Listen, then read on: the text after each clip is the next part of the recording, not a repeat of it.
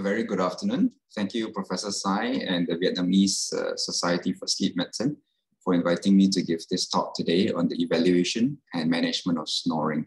All the contents of my presentation today is uh, actually found in my recent publication uh, of the same title in the Elsevier Sleep Medicine Clinics. Snoring is a vibratory noise produced in sleep from cyclical obstruction and reopening of the upper airway, about 50 times per second, arising from the soft palate, pharynx, lateral pharyngeal wall, epiglottis, or tongue base. Solitary palatal fluttering is seen in simple snorers, while palate and lateral pharyngeal wall vibration is seen in mild to moderate OSA. Combined palate and lateral pharyngeal wall or tongue base and epiglottis vibration is usually seen in severe OSA. And snoring in OSA occurs mostly in apnea terminating hyperpneas, where turbulence is maximum. As far as snoring and sleep disorder breathing is concerned, snoring indicates a five times increased risk of OSA. It's been reported in 38% of men and 30% of women in a huge, uh, large UK survey. Pauses in breathing is also reported in 8.7% of men and 5.6% of women and regular snoring is associated with decreased, sorry, an increased risk of coronary heart disease and also stroke. Primary snoring is not associated with sleepiness or medical hazards. However, secondary snoring is symptomatic of sleep disordered breathing, which is a spectrum from upper airway resistance syndrome to mild, moderate, and severe OSA. 9% to 38% of adults more than 18 years old have OSA, and multiple systemic chronic illnesses are associated with sleep disordered breathing. Polysomnographic classification of mild, moderate, and severe OSA based on AHI is, does not actually correlate well with quality of life or the comorbidities of sleep disordered breathing. And in fact, PSG does not guide treatment or predict outcome in a heterogeneous problem. So we need to look at the phenotypes of SDB, sleep disordered breathing, in order to understand how to best manage them and to have very personalized and precise uh, management uh, algorithms or strategies. So the broad phenotyping includes anatomic and non-anatomic factors. And patients do not always fit neatly into these categories. And often multiple, multiple factors are present and their dynamic interrelationship needs to be adequately appreciated to strategize the timing and the type of therapy. These anatomic and non-anatomic subtypes are upper airway obstruction, pharyngeal dilator function, increased loop gain, or a low arousal threshold. So you can see from this schematic, a narrow upper airway, low arousal thresholds, high loop gain, or poor muscle or dilator function. In a more complex slide, uh, this looks at all the anatomic as well as the non-anatomic uh, factors that interplay in every patient. So you can see that it is in fact uh, very complicated and yet uh, challenging for us as uh, sleep physicians or surgeons to fully understand our patients and therefore to strategize management specific to their needs and to their problem. Let me first address the anatomic factors. So you can see from this uh, table here, the anatomic framework for sleep disorder breathing includes the nasal airway complex and the pharyngeal airway. And we should also think of it in terms of a skeletal container and soft tissue contents. So the upper airway consists of this container with soft tissue contents divided into the nasal airway complex and the pharynx. Cephalometric analysis in patients with OSA showed increased lower anterior facial height and vertical growth pattern, giving them a long and narrow face, as well as an inferior position of the hyoid bone, decreased pharyngeal airway space, decreased length of the cranial base and cranial base angle, relatively smaller maxilla and mandible, retropositioned mandibles, and also increased length, thickness, and surface area of the soft palate. Decreased lower anterior facial height is also predictive of severe OSA, while retrognathia is much more common in severe OSA than in snorers. A clockwise rotation and shorter mandibles are also associated with OSA. Looking at the nasal airway complex, It in fact contributes more than 50% of airway resistance, with the greatest resistance being at the internal and external nasal valves. Nasal obstruction worsens the respiratory disturbance index, OSA severity, and impairs sleep quality in allergic and non-allergic rhinitis patients. An acute maxillary angle or a narrow maxillary width with a high arch palate are skeletal characteristics associated with persistent nasal obstruction that in fact contributes to sleep disordered breathing. 85% of patients with OSA with nasal obstruction has septal deviation or inferior turbinate hypertrophy. And inferior turbinate hypertrophy is found in 93 to 97% of snorers and OSA. The pharynx of patients with OSA is narrower, rounder, and versus a more oval one, and it's also more collapsible and must expand more to facilitate airflow. A large tongue, macroglossia, hypertrophic adenoids and tonsils, thickening of the lateral pharyngeal wall also crowds the airway further. This is usually because of obesity, inflammation, or increased vascular volume. The presence of tongue scalloping right, is also strongly predictive of abnormal AHI and nocturnal hypoxia. And this is caused by a large tongue, small mandible, or a high arch palate, so where the, the tongue has no space to fit in the mouth. And that actually creates a narrower pharyngeal airway. A short lingual frenulum or tongue tie at birth also leads to OSA and sleep disturbance. And in fact, has been shown to be associated with five times increased risk of OSA in children aged 3 to 17 due to narrowing of the maxillary arch and elongation of the soft palate. This is a result of loss of tongue-palate coupling, which is actually a necessary stimulus for maxillary growth. Looking now at the dynamic abnormalities or factors, an expiratory collapse occurs when constricting forces overwhelm the expanding forces of pharyngeal dilators. And so this imbalance increases the critical closing pressure, or known as Pcrit, which is a more positive Pcrit, indicating a more collapsible airway. Pcrit is increased by a larger neck circumference, soft palate length, and hyomental distance. And reduced end-expiratory lung volume in the obese also increases Pcrit and therefore aggravates OSA. The pharyngeal dilator function is also very important, where feel there's an altered neuromuscular function and reflexes of the pharyngeal dilators. These are seen in OSA. And in fact, the genioglossus demonstrates lower tonic activity and increased phasic activation in response to apnea. Neuromuscular responses are also deranged, and in response to hypoxia, reduced airway diameter and airway pressure, these neuromuscular responses fatigue by as much as 50% in OSA, and protective reflexes are impaired as well. On the area of high loop gain, what it is is it is an exaggerated ventilatory response to CO2 changes, and a third of patients with OSA have high loop gain, where there's a more than five liters per minute increase in minute volume. Uh, it's seen in response to a one liter per minute reduction in minute volume. So this creates a hypoventilation, hyperventilation cycle, respiratory instability, and increased apnea.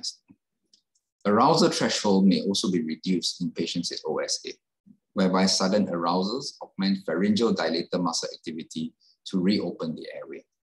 So the hyperventilatory responses drives down CO2 below the chemical apnea threshold, resulting in central apnea. Hypocapnia also impairs the dilator function by decreasing neural output. A low arousal threshold, right, can be predicted by this clinical score where one point is given if the AHI is more than 30, one point if the saturation, lower saturation is more than 82.5%, and the frequency of hypopneas is more than 58%. If a score if is more than two, it in fact predicts a low arousal threshold. Mouth breathing syndrome is a new term coined recently by the Brazilians. And in fact, it's a very good way to tie up uh, sleep disordered breathing symptoms and signs in children, as well as their causes and complications. It is a red flag for sleep disordered breathing. It should alert us to the presence of nose block, nasal obstruction from allergic rhinitis, enlarged adenoids, and enlarged tonsils, as well as sometimes deviation of the nasal septum. So in children, this in fact starts the progression towards sleep disorder breathing. Airway resistance is in fact increased in obstructive apneas, hypopneas as well are increased in oral breathing versus nasal breathing during sleep. And this is explained by the reduced pharyngeal diameter, shortening of the pharyngeal dilators, and impaired dilator functions in mouth when they have mouth breathing. So I've created this uh, flowchart to tie up all the possible causes of mouth breathing, which include allergic rhinitis, hypertrophic adenoids and tonsils, and short lingual frenulum or ankyloglossia. And mouth breathing syndrome alone can give you sleep disordered breathing. Mouth breathing also increases the morbidities of asthma, uh, cognitive dysfunction, craniofacial and dental changes, growth changes, in the nose as well, and postural changes, which I will show you in a minute. So mouth breathing syndrome was in fact reported in 17% of the population of Nagahama City in this large uh, study. And in fact, they also showed worsening of asthma by 85% for those who just mouth breathe alone. If they have allergic rhinitis alone, their worsening of asthma is 2.2 times. But when they have mouth breathing and allergic rhinitis together, their asthma worsened by four times. Systematic review of mouth breathers in Brazil showed increased malocclusion with angle class 2 division 1 more than class 1. Postural changes such as forward head position, higher head projection, shoulder asymmetry are also seen in mouth breathers. So this is what I mean by the craniofacial dental changes, the class 2 malocclusion, the crooked teeth, narrow face, and smaller airways with a setback jaw with the retrognathia. So you will see these longer faces, retrognathic maxilla, obtuse gonial angles, deep and narrow palatal arches, and malocclusions, where class 2 is the most common. We also see often see crossbite. Postural changes in mouth breathers include all these, like forward head projection, shoulder asymmetry, scapular elevation, and so on. And so they're quite easy to spot when these children come into our clinics. So evaluation of the snoring patient, understanding all the anatomic and dynamic factors, must then aim to evaluate these phenotypes. Are they anatomic or non-anatomic, and or they both? And what are their interrelationships? We need to grade the severity of the disorder and establish baseline for intervention as well as guide treatment options. And this systematic evaluation should proceed as follows. We need to get a good sleep health history, study their comorbidities, right, to rule out uh, risks as well as complications from their sleep disorder breathing, and do a systematic examination. So sleep health history, right, should include studying their snoring habits, the timeline and periodicity, its association with drugs or alcohol, its association with body position, gasping, choking, and witness apneas. Then we should also look at underlying airway disorders such as rhinitis, tonsillitis, and other respiratory diseases. Sleep quality must also be studied. Today have insomnia, nocturnal awakenings, daytime sleepiness, inattention, reduction in work or school performance, all indicating the impact of their snoring and sleep disordered breathing. I'd like to highlight here uh, how important it is to pick these up in children early where we can still treat them and reverse their progression to adult SDB. Often these children with uh, disturbed breathing have hyperactive behavior, bedwetting, night terrors, bruxism, which is uh, uh, grinding of the teeth, inattention, sleepiness, snoring, and mouth breathing. So let's look for all these things in children. And when we look for them in adults, we should also include early morning headaches, loss of libido, mood changes, erectile dysfunction, and also nocturia. Thinking of their comorbidities to see the impact on their overall health, right? hypertension is must uh, look for, and the increased risk of systemic hypertension is 37%, and with AHI of 30 and 24% in two-fold increase, uh, and a two-fold increase in rapid eye movement uh, AHI. Cardiovascular problems, relative odds of heart failure about 2.4 and stroke about 1.6 and coronary heart disease 1.3 compared with the highest quartile when you compare the highest quartile versus lowest quartile of AHI. Diabetes mellitus often coexists with OSA And hazard ratios of developing diabetes for mild, moderate, and severe OSA are so and are com compared with a non-OSA population, right? Cognitive decline is often seen in patients with sleep disordered breathing.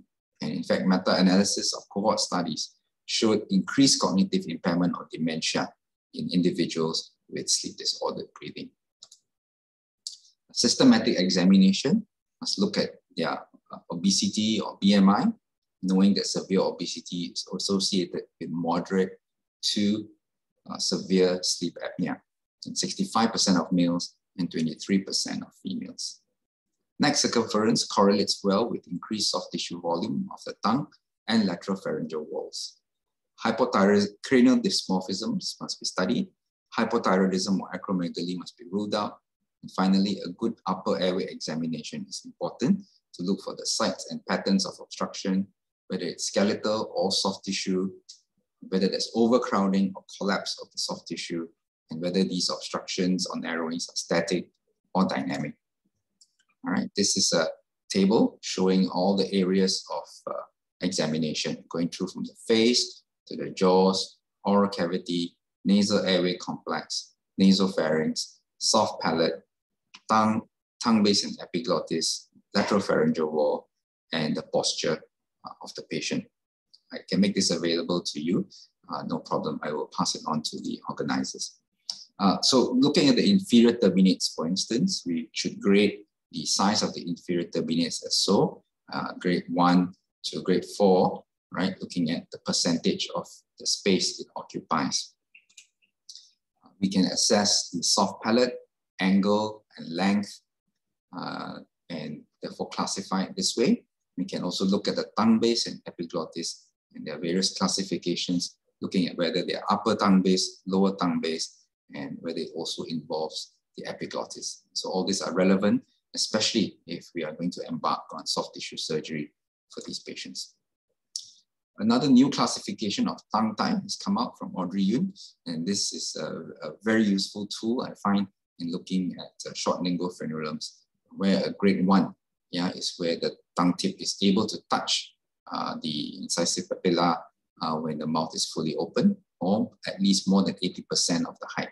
And grade two is 50 to 80%, grade three is less than 50%, and grade four is less than 25%. So these are patients that we will want to target uh, myofunctional therapy on and possibly also uh, frenotomy or tongue tie release.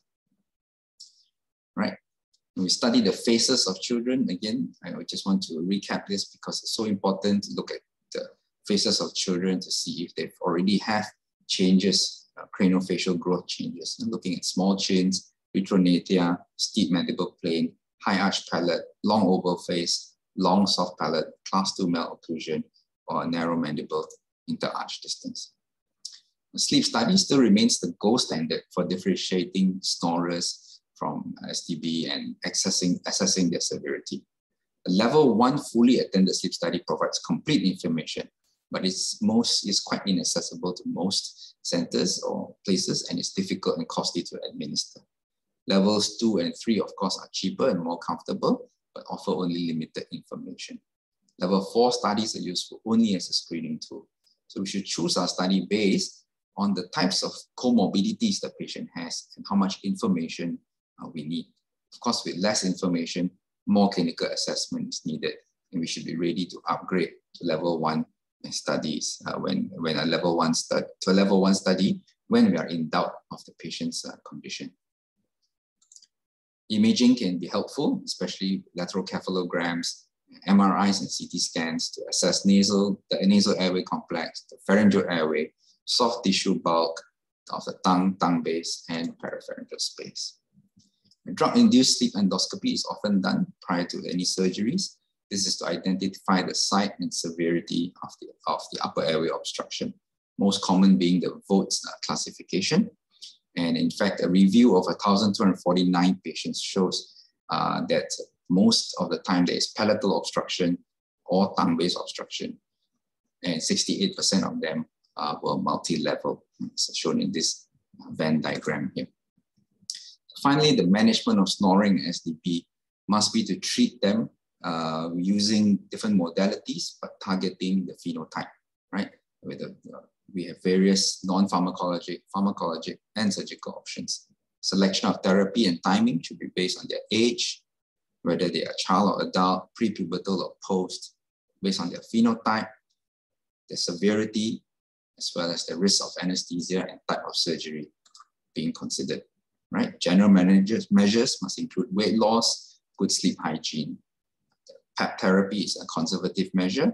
Myofunctional therapy is also a conservative uh, treatment, which has shown to be very useful. Surgery can include either soft tissue or skeletal surgery. With that, I thank you very much. And if you'd like some of this material or more information, please don't hesitate to contact me at this email here. Thank you very much and have a good evening.